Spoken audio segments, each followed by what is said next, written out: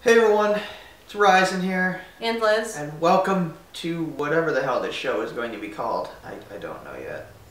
If you have suggestions, I'll take them.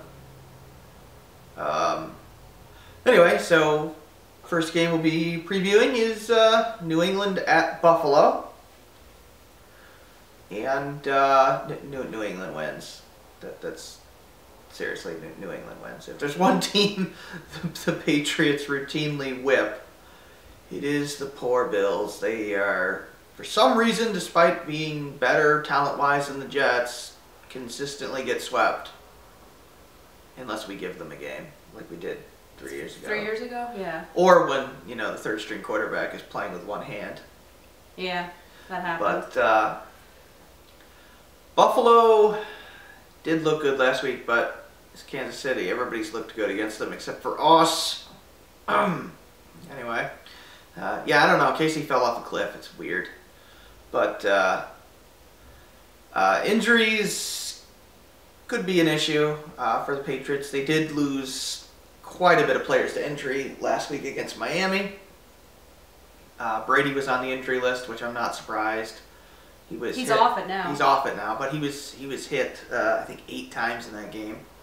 Uh, but that's because Miami has um, a good edge rusher in Cameron Wake, and then they have uh, a good interior as well. So that's how you get success on Brady. Because otherwise, he just steps up. If you just got like you know Denver with Von Miller, he just steps up. But uh, uh, defensively, Buffalo is Not the same not they used the to be. they used to be a few weeks ago. And I expect the Patriots to have a lot of success in their passing game because Buffalo ranks pretty poorly in their passing attack or in their passing defense. I think they're like 24th or 25th. And uh, uh, as far as uh, the Patriots defense, I expect them to keep Tyrod Taylor in the pocket, at least try to, because he is a mobile quarterback. They've had problems with that earlier in the season. That they did.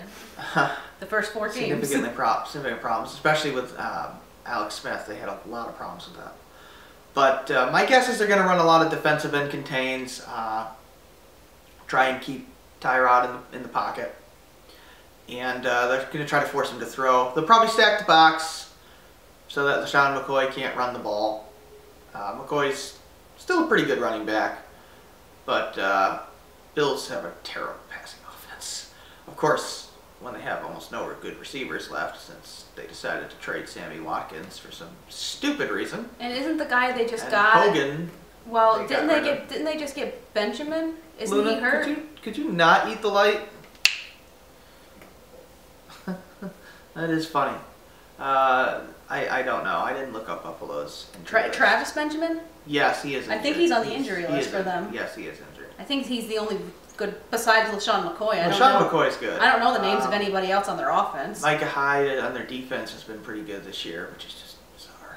I mean, he I, was never, on. I never thought he was any good, but he's got five interceptions this year. I mean, But uh, the problem with them, the Patriots needing to contain Tyrod Taylor, is that they have uh, a really crippled linebacker core right now. Uh, you have Trevor Riley on the injury list. I don't think he will play. He had a concussion. more than likely he, He probably wore won't. a red shirt in uh, practice, which is non-contact. Uh, Kyle Van Noy's on the injury list. I suspect he will play. Uh, if he doesn't play, they're in a lot of trouble because he calls the signals. I don't know who would I don't know doesn't. who doesn't. I don't know. Who Rob, doesn't. a lot, Landon Roberts, maybe? I don't know. Probably. Um, Marquis Flowers is injured. That's a problem as well. Uh, because the Patriots, defensively, they like to use their outside linebackers as, as edge rushers. Because they really don't have good defensive ends. Outside of Trey Flowers, who unfortunately is also injured. Although I suspect he will play as well. Uh, Hogan will not play. He's already been announced out. That sucks, but uh, it's expected. And who else was Cannon. uh, Cannon, Marcus Cannon Got will ruled not out. Get out. Well, is still ruled out. And unfortunately, the offensive line's another issue because I don't know if LaAdrian Waddle will play. My guess is no, which would put Cameron Fleming in there. Fleming is not terrible. He's not great. He looked really bad in the few snaps he had last week. But he's also like the third string But right they've also used him a lot. Yeah, he's like the third, third string right tackle, right? He's the emergency option. Yeah. Uh, he he was good in those six offensive line formations that they did, but putting him at right tackle, I don't know. Uh, the good news is he's right next to Shaq Mason, who's their best lineman, This year Outside by Marcus this, Cannon. this year by far, yeah. and Cannon, I suspect, will be back within a week or two. I think his was just he has a bum ankle. Yeah, he's got a bum ankle. That's what that's what hurt Waddle too. Waddle might play. It would be Nice. okay if he plays, but I don't know how much longer they need him. Yeah.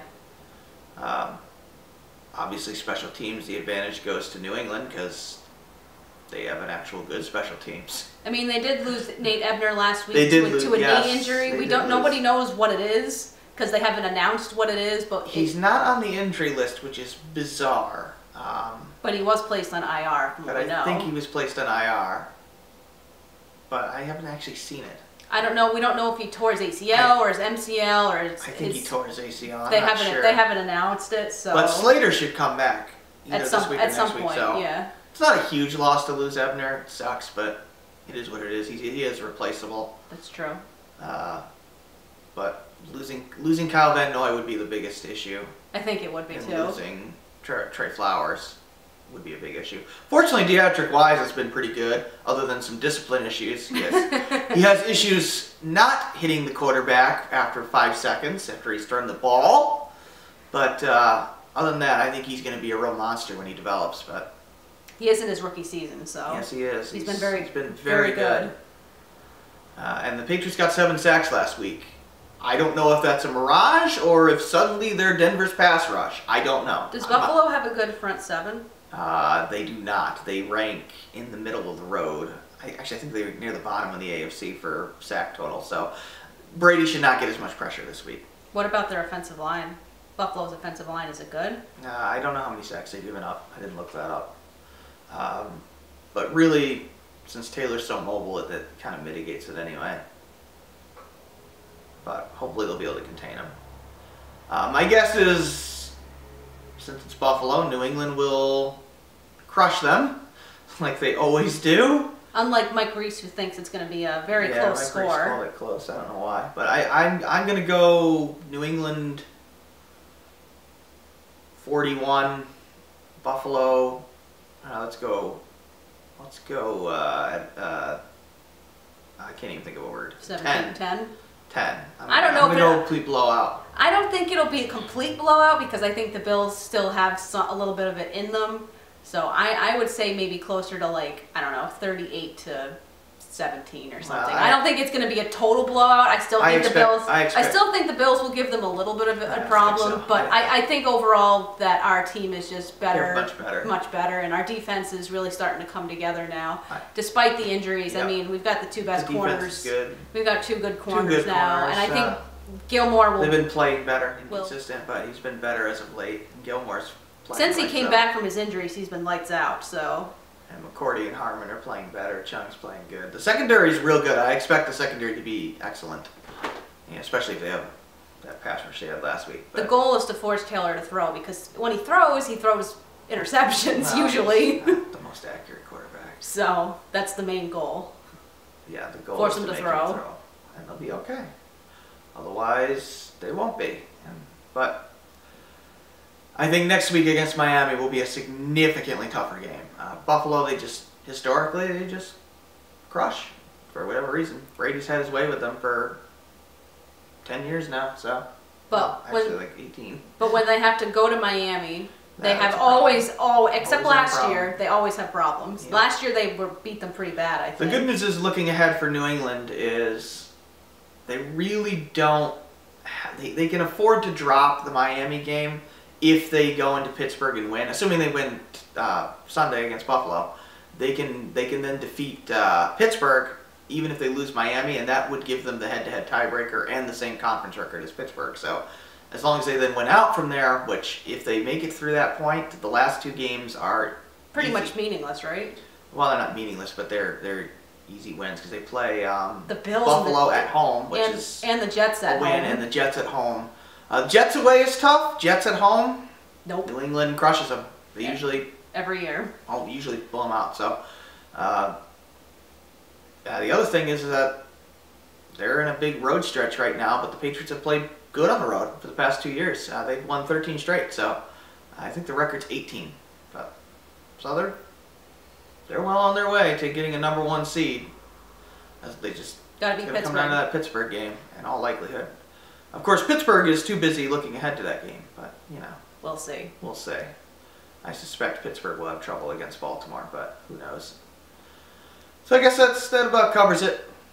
We'll uh, we'll leave this one here. We'll recap the game once it's over. Sunday afternoon. Yep, and uh, go from there.